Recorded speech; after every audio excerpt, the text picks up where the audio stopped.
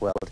Captain Mary Falconer of the All-Action Terrahawk Squad, whose only role in life is to save the galaxy from evil domination. Say good morning, Captain. Good morning, everyone. How nice. Uh, but over here, someone not at all pleasant. The Frank Bough of this setup. She's 140 years old.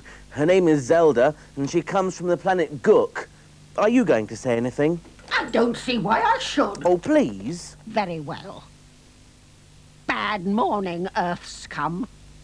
Okay then, girls. Are you ready? Stars of the day, right?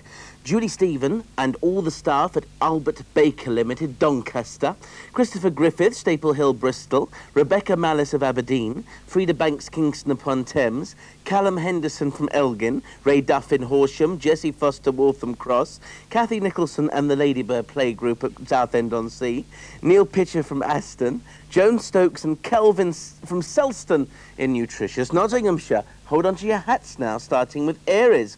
It's time to think of foreign climes and holidays. Consider getting involved in mind-expanding activities that will feed your intellectual appetite. A religious matter may need discussing. Taurus, you're a very emotional wee bull. But why? Possibly because you've really been through the mill recently and want some reassurance that your future looks brighter. Well, it does, my friend. It does. On to Gemini. One-to-one affairs have been important for some time now, and yet again you have to make emotional decisions that will affect your whole relationship's future. Your moods are very volatile, but don't take it out on your partner.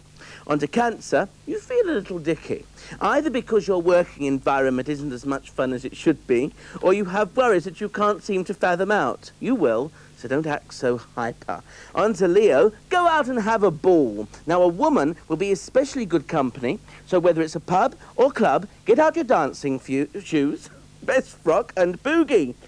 Boogie builder? Oh.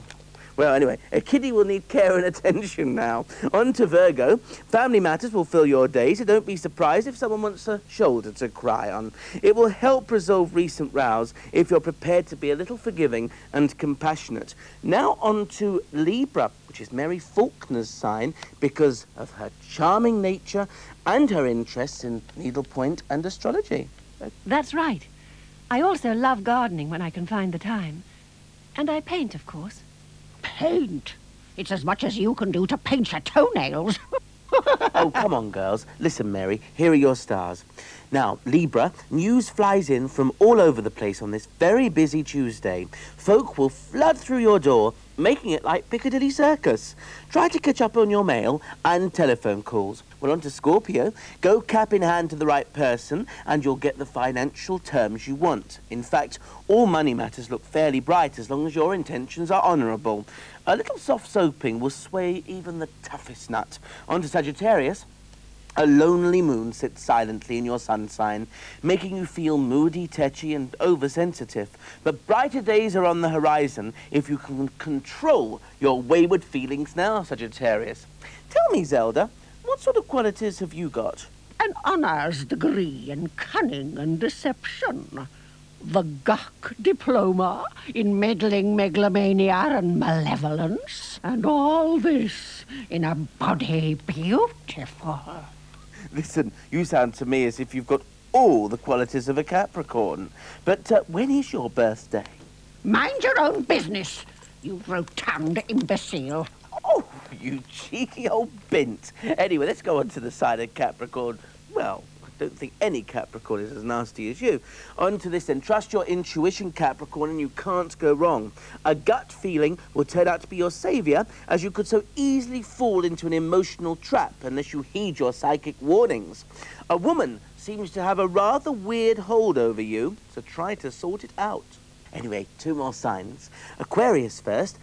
Spend the day with a friend and emotional ties and hang-ups will be snipped.